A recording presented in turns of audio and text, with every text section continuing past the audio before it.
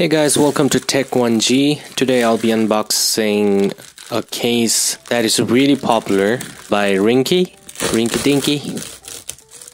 Here we have it. Right here. Hope I pronounced it right.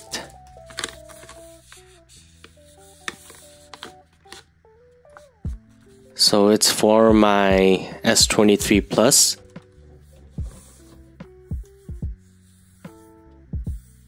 Don't mind the hair on the camera. I don't know why I didn't notice it that time.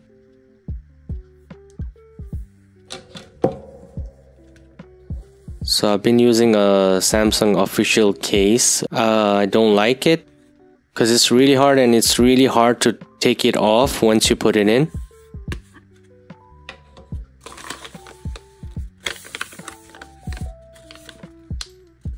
I bought it in a green color because uh, I bought the S23 Plus in a green color as well. I love green.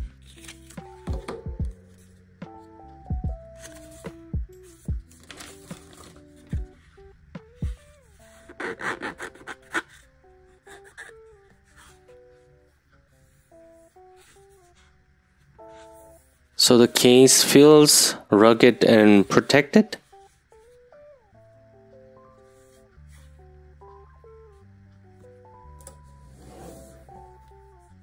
And the hair is gone.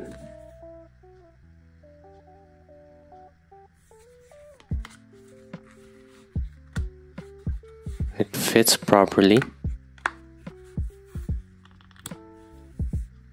And looks like it's screen protector safe. Yeah, I also have a camera lens protector and looks like it fits with this case.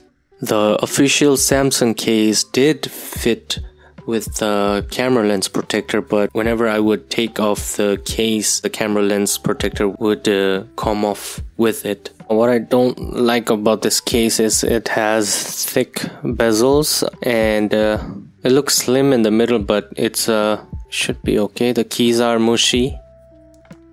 It's clicky, but when you press it, it's uh, kind of mushy.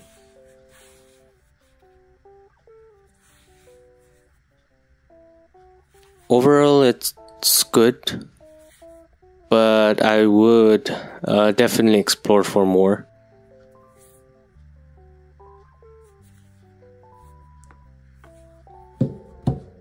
Thank you for watching.